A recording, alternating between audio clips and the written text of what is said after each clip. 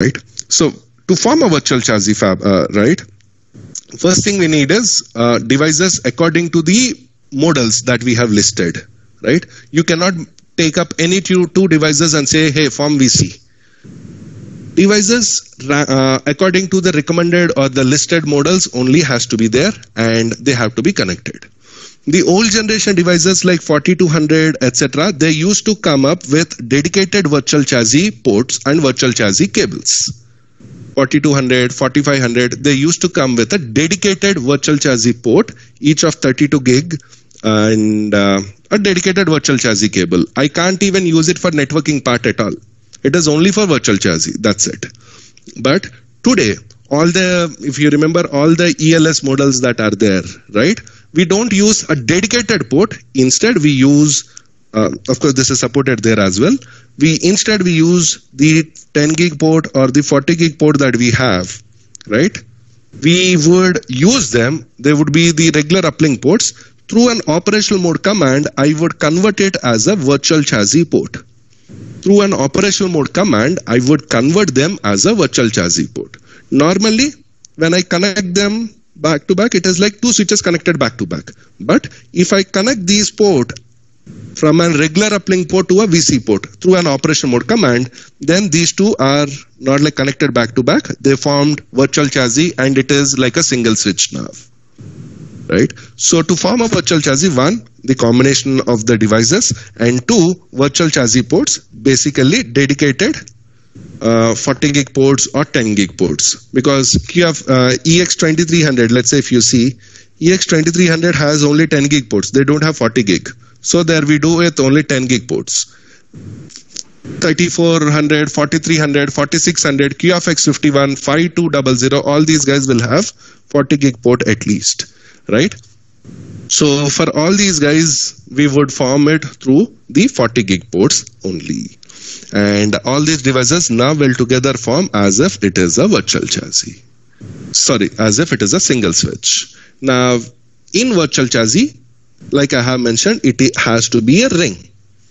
You can just do a mismatch of connections like this connected to this, this connected to this, this connected to this, like a random mismatch maybe you may not be completing a ring over there, right? So the not for virtual chassis, normally when you go for a uh, typical ring style architecture, right? There are two famous ones. One is daisy chain ring method, wherein you connect every switch with one switch below and one switch above. So if you see this guy is connecting to one switch below and one switch above. Similarly, he too would connect to one switch above and one switch below.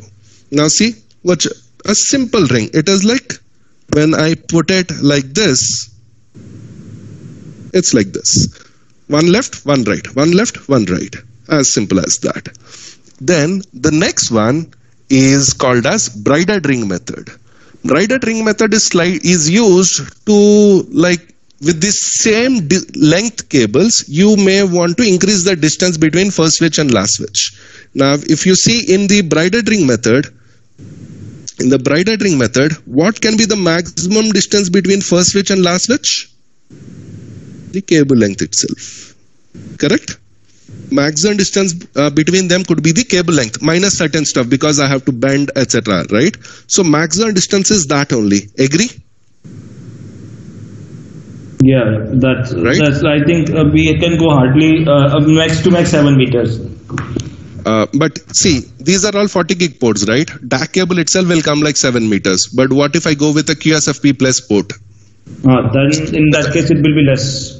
It can be more. DAC is less. If we go with a QSFP plus with my own cable, I can go to an extended distance as well. Oh. Right? So virtual chassis can form in a circumference of up to like with 40 gig ports up to like 10 kilometers the entire ring circumference can be 110 kilometers for 40 gig ports. Right? Yeah. Now, what if like I have already purchased, like I have already purchased 5 meter DAC cables, right? But for some reason, the first switch and last switch are like at 6 meters. Fixed. Now, what is the solution? If I go with a daisy chained one, I have to mandatorily, If I go with a daisy chain one, I have to mandatorily connect the first one with the last one and I don't have a six meter cable. Right? In that cases, we go with a daisy chained mechanism. Sorry, braided ring mechanism. Braided ring is simpler, but it works with even number of switches only better. And uh, in that, right, everybody, so if I'm one, I will give one connection to two and another one to three. Right? Everybody. So one of my connection will go to my immediate guy and one of my connection will go like one hop later. Right? So if you see two, right? Two has already given one here. So two will connect to four. And there will be one connection between three and four. See, this is not that Juniper has invented. Braided ring method is a style of ring connectivity that exists already right? Now, when you go with the braided ring method, right? Now, if you see, everybody is connected to at least two, and we completed the ring. Now, in this, right? Now, I have increased the distance. Now, the formula that works normally, and it works only with an even number of switches, is that cable length maximum cable length when it is unified maximum ca uh, cable length that you have into number of switches minus 1 by 2 so in this case the cable length that i have taken is 5 and number of switches that i have taken is 4 so 4 minus 1 3 by 2 7.5 now see i did not change i did not buy a new cable right just by going with a different strategy of connectivity, I now made first switch and last switch can be as far as 7.5 meters. And our case study of 6 meters fall in picture. Are we good? Any questions? So, uh, so yeah, no. One question I had is like, uh, see, if these uh, switches we have extra ports also. So, if we popular popular those ports with the uh, DAC cables, do we get additional uh, like yes. bandwidth? Uh? Yes. So, when we have similar bandwidth, uh, similar bandwidths connected, let's say between one and two, I have between one and two. I'm sorry, somebody is in the lobby.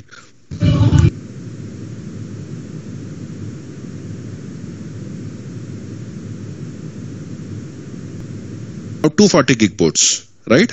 They would automatically lag and it becomes a single 80 gig port. It would be auto lagged. Hello? Hello? Am I audible? Yeah, yeah, you are yeah. audible. So it would be auto lagged. Any questions? So doing so doing the same thing in a QFX is really, uh, I think, uh, like in that also we can make uh, virtual chassis with the 10 switches uh, only, right? Yeah, max 10.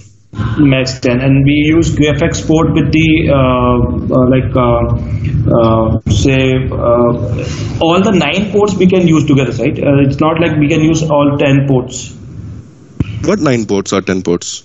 For the uh, virtual chassis. See you can use as many ports as you can but normally qfx the most sold model is 5100 48s okay. If you see 48s right it comes up with six 40 gig ports okay then it can be only six can be four. But in a 5200 again again my thing is like if you are using all six of them for vc only what would you give for uplink oh correct correct correct in the, but in the uh, Pavan 5200 model, uh, all 32 uh, Q, uh, that 32 QC model, I think, uh, as far as I remember, in that uh, we can have approximately 32 40 gig port, and yeah, we can use. huh? In 5200, only two switches are supported in a VC. Oh, two switches are only supported in a VC. Okay. Yeah, to 10 for 52 the to make it at uh-huh. least four. I don't know if it would be delivered or not. Or I once came to know that there was an ask from somebody that um, can we make it like four switches?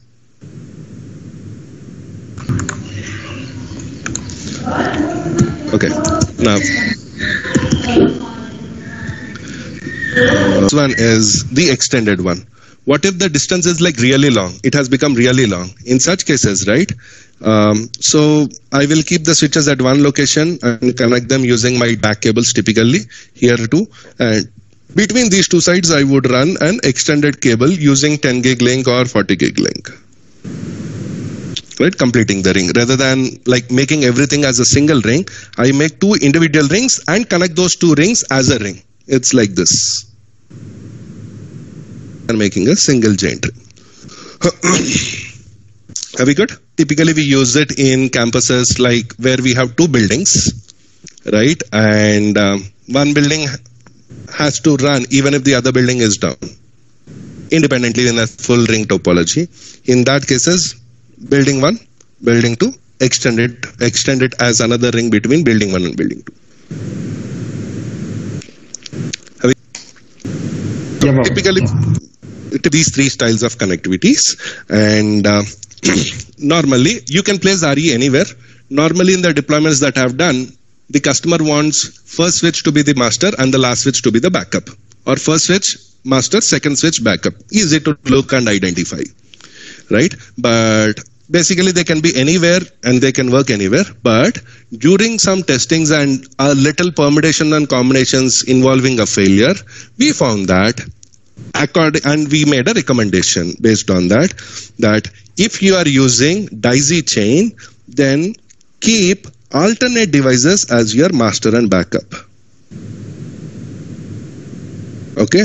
And if you are using uh, braided ring method use immediate devices as your master and backup. But it is no sin keeping any random devices like this is master this is backup. It is no sin and it works perfectly fine right? Only doing a lot of permutation and combination of failures with based on an algorithm. We just came up like okay you do this maybe you may see uh, the impact of a failure a bit less. That's it. But there is no problem if your customers are not at all following it. And uh, only one switch is i mean the first switch is master second switch is backup or the top switch is master and the bottom switch is backup etc while i was going for deployment i always got the same case like uh, when we go for mounting customer asks first switch is master second switch is backup typically. Then if you are using the extended style right keep the switch at one location as master and switch at a different location as backup. Just make sure that you do this so that even if one building is completely down still the backup will become the master and would take over and your virtual chassis still be up and running